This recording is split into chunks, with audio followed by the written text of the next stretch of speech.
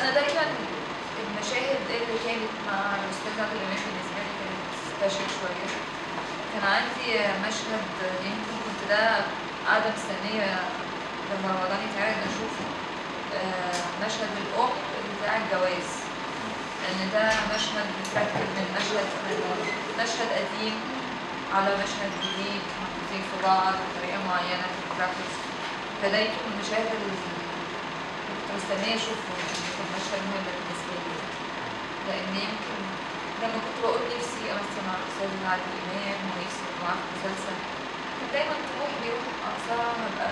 أطلع في دور بنته يعني طلعتي مراته فطلعت بنته الأولانية وبنتها فكان بالنسبة لي آه بالنسبة لي يعني آه ما كانش ممكن يروح إن أنا ممكن أطلع دور حبيبته